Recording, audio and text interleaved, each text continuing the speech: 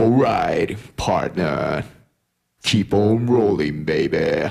You know what time it is.